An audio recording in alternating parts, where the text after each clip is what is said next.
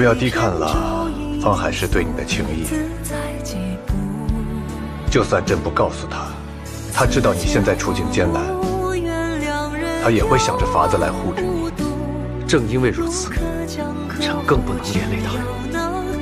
哪怕只有一刻，放过自己好吗？那陛下呢？你愿意放了舒容妃，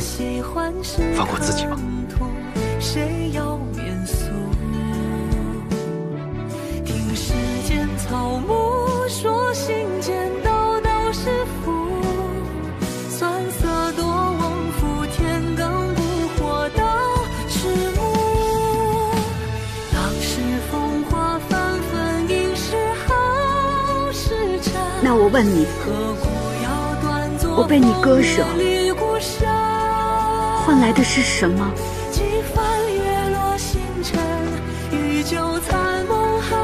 从此以后，我与你再无任何瓜葛。